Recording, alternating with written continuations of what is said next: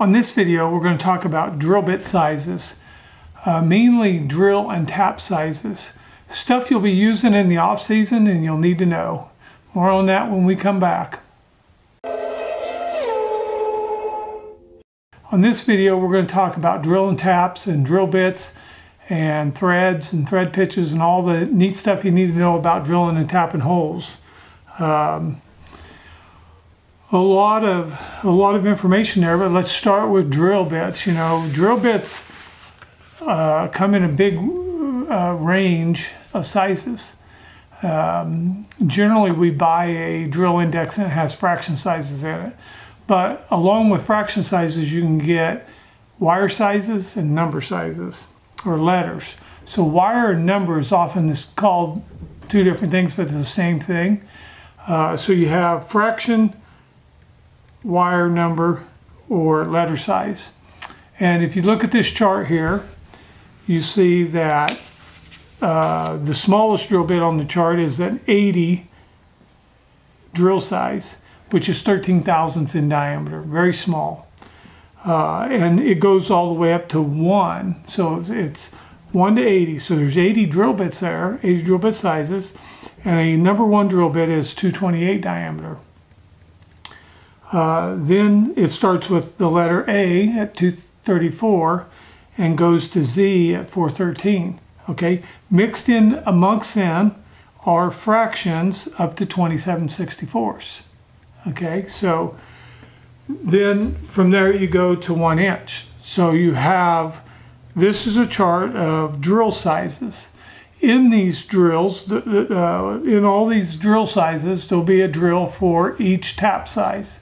Okay, if you buy a chart from like MSC or uh, Kerry Lane or McCar McMasters, you know, it'll have probably the tap sizes on it. Okay, and it'll be one of these drill bit sizes. There, like I said, there's a lot to a lot of choices there, but one of them will be your tap size. Okay, so then we have the next chart we have is probably every size of tap that you can probably imagine. Okay, including metric. Uh, we have machine screw taps, uh, machine screw sizes. So machine screw would be like a 1032. Uh, that's something that you might use on your race car. Um, so you have machine screws, then you have bolt sizes, um, and then you also have uh, some helical sizes. But on this list, there are no helicals on this list. On this list, it starts with a 080. You have coarse and fine thread taps. And then you have some specialty taps. But for the, for the most part, we're talking about coarse and fine thread. Um, you have common things, a 632, an 832, a 1032. These are machine screw sizes. Uh, you can run into some of them on uh, some race car parts. Um, you know, other common sizes start at the quarter inch, quarter 20, um, 5 16ths, 18 is, you know, very common size in, in the birdcage bolts. Um, that's of course, uh, 5 16ths, 24 would be the fine thread. 3 8 16 common size. Uh, 7 16ths, 20 would be like caliper bolts. Uh, half 13 uh, we use lower control arm bolts are usually half 13. Uh, half 20 is a common size also. Uh, 5 8 18, that's a fine thread for a swedge tube. Uh, four link rods usually are 5 8 18, um, right and left handed. Uh, three quarter 10, that's a coarse thread, three quarter, and three quarter 16, that's fine thread, like a swedge tube for a pull bar or something. Uh, so these are just a few of the common sizes of taps. So let's go back and look at a quarter 20. A quarter 20 will take a number 7 drill bit or a 1364 a 201 diameter. Okay, so you can fudge your drill size just a little. But when you drill a 201 hole, you're drilling and leaving a percentage of thread left. And, and somebody over time, I don't know who, but somebody over time figured out that this percentage is uh, good enough. It's not 100% full thread, but it's 70%, I think, of the thread. And it creates a strong enough holding value and reduces the interference fit to get the bolt in the hole. So like you can't just be uh, perfect. It has to have a little slop at the bottom of the tap, uh, the inside part of the thread. So for an example, and I'll list these below, uh, you know, 5 16 is going to take a, a letter uh, I. Um, 3 8 16 is going to take a 5 16 drill bit. Um, half half 20 is going to take a 2964 drill bit. Uh, so different sizes are going to take these different drill bits. So this chart, you can download it from our website. I'll put a link below for that, so you can download that. Um, this chart will tell you what size drill bit you need for that particular tap. And a guy should probably buy some taps and some drill bits and just keep them together. Put them in a tube and keep them together uh, so you don't have to go looking for them and you don't have to go back to the chart constantly to see what size you need um, for that tap. Now, taps come in different shapes, forms. I mean, there's machine, uh, like a CNC machine type tap. There's helix taps and there's high spirals and there's coated and not coated and for the general purpose you know the cost and cost efficiency the non-coated tap is um, what you're going to be looking at. And here we show three different taps uh, a bottom a plug and a taper okay? A taper tap has a lot of taper at the bottom as its name would uh, not the best, it's for a bottom, uh, bottoming hole or a blind hole, but good for a through hole. Uh, this tap also allows you to get the point of the tap kind of down in the hole. It's better for hand tapping without any guiding.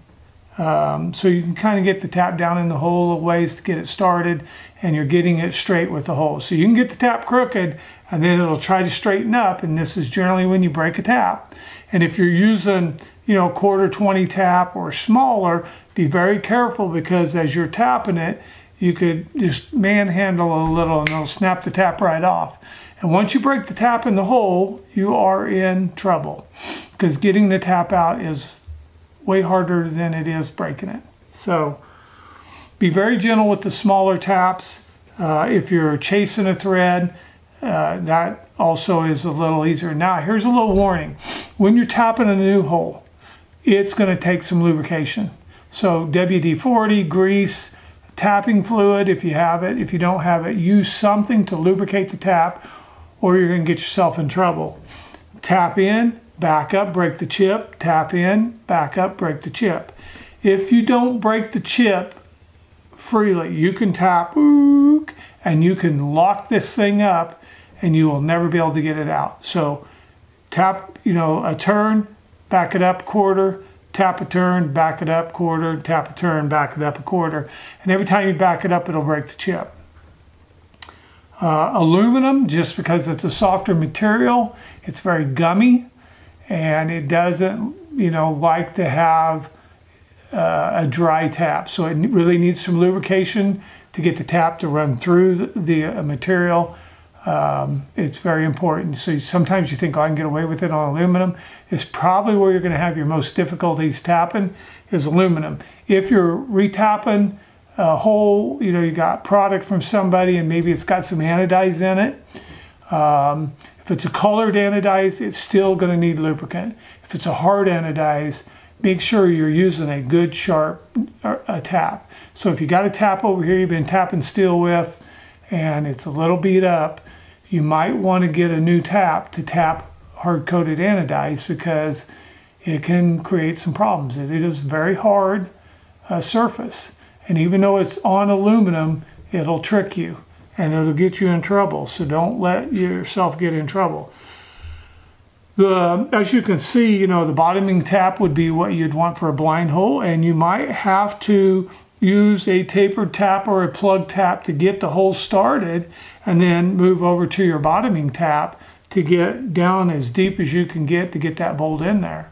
So um, these pictures here of these taps, they push the chip forward, so it's going to be in the bottom of the hole if it's not a a through hole. A spiral tap, which I will try to show you a picture of a spiral tap also. This tap, spiral tap, will lift the chip out of the top of the hole. Okay, it's ideal for CNC machines or machines. Uh, you can use it for hand tapping. It's a very good tap to use. Uh, and you can get it in a plug or bottom or a taper also. More expensive, uh, generally coated, so it runs into a little more money. Um, thread pitch. So what is the thread pitch? I have a quarter 20. Well, that means that it's a quarter inch diameter and there's 20 threads per one inch. Okay, so it's pretty fine threaded. Uh, if it was a metric thread, it would say the size, like the quarter, it, it might say uh, 7 millimeter, 1.0. That means that every millimeter, every 39.4 thousandths, there's a thread, there's a pitch, uh, or 1.25 or 1.5. These are common sizes for metric. Um, when you're machining them, a lot of times guys like that because it's easier to figure the thread pitch, uh, but it is it is what it is. Metric is a little more confusing, but the chart also has metric sizes on it. So it requires a drill bit to drill metric size just like it requires a drill bit to, to drill a fraction size tap.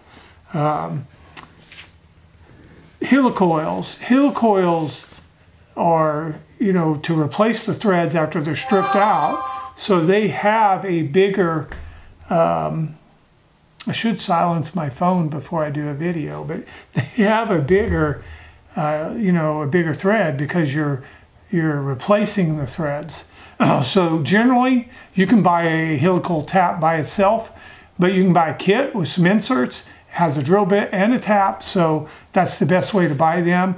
A lot of times your automotive shops, O'Reilly's, Tractor Supply, um, will have these Lowe's. Lowe's will have a helical tap, and Lowe's will have a, uh, a tap section uh, around their bolts. So you know, if you can't find them, you know, online at MSC, uh, Makar Masters, different places. Now, these big brand name companies, uh, uh, taps will be more expensive, you know. So, um, the taps you get through the racing industry, maybe like through Speedway Motors, um, Jegs, Allstar Performance, to tap a swedge tube, it's going to get the job done.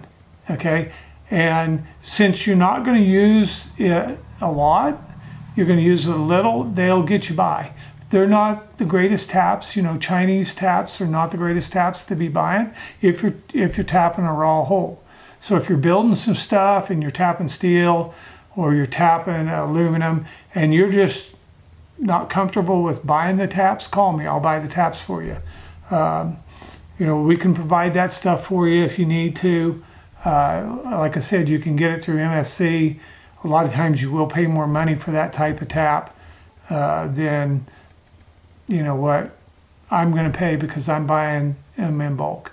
Uh, and taps come in uh, different sizes. So there's, um, oh, I don't really remember because you're not going to deal with it and we don't deal with it much. I think most of them are in an H3 and there might be six or nine different tap sizes and they get pretty tight and they change a couple of thousandths. Um, if you're dealing with powder coated parts and the manufacturer is not running a tap through them bolts, them bolt holes before you, you know, bolt the part up, it's very important that you do because these bolts nowadays, you take a number five or a number three, and they're not going to push their way through there without damaging. Even like on a hard coat aluminum, it's going to damage the bolt. So it's very important that you tap these holes out. We try very hard to tap the holes on all of our product. It's a very pain to do, but we do it um, because it's easier. I feel like it's easier for us to do it than it would be for you, and I feel like it's the right thing to do. So your manufacturer, I mean, if he's going to be a manufacturer, he needs to tap them holes out. If you're buying a product from somebody that ain't tapping them holes out, get on them about it or get away from them. One of the two, you know. But you can't run that. You can't run that bolt through that hole. Uh, you can get lucky sometimes, and sometimes you can't. So uh, you get the paint out of them holes. Uh, your chassis guys, uh, a lot of times they're very good about tapping holes, uh, reaming holes, um, but cleaning the paint out of the holes. Likewise, if you need the drill bits or a reamer for different operations and you don't feel comfortable buying them, we'll, we'll handle that for you. But um, um, yeah, I think in, in general, I'll put a link to some of this stuff below uh, so you can download uh, a link to these uh, PDFs for these drill sizes and the tap sizes. Um, we have a blog. It talks a little bit about this drill and tap size on our website. I'll put that link below. But if you have questions, like always, comment. Uh, if you if you don't understand, I didn't cover every aspect of threads. Threads are very complex machining process, and generally, if you buy a drill bit and a tap, you can master uh, and some lubrication. You can master tapping holes and be very successful at it. Uh, you don't need to necessarily know all the ins and outs. Um, but a general purpose tap will get uh, the job done. There also is pipe tap that we didn't discuss. Pipe tap is uh, a little more difficult. Uh, you can get them in a straight and a taper. 90% um, of them are tapered. And the tapered ones have a depth they want to be tapped at, which is about eight turns. Um, nine, ten turns, and you'll you can run it too deep, especially like on a Schrader valve. Schrader valves are pretty picky. So on pipe taps, you might tap it a little bit, try your Schrader valve, and you're going to see I didn't go in very good. Then go another turn and a half, and then try it again until you go, okay, I like that fit. Uh, pipe tapered pipe taps are designed to interfere the fit to seal. Okay, probably wouldn't hurt to put a little Teflon tape or a little pipe dope on. If you're, you know, like drilling a Schrader valve or something, uh, the Schrader valves with an O-ring are they create they have to have a seal for the O-ring to set on. So I don't really recommend trying to um, tackle that process. If you're going to put a Schrader valve in a shock, you're going to be way better off with a pipe tap, a tapered pipe tap. So uh, uh, pipe taps are a little bit different breeds, um, and you know it wouldn't hurt to maybe practice. But as all taps, they need some lubricant or you're going to get yourself into trouble. So uh, a uh, little information about tapping some holes. Hope this helps. Makes your off-season jobs easier. I appreciate you guys hanging around out till the end. Like and share our videos. Help us grow our channel.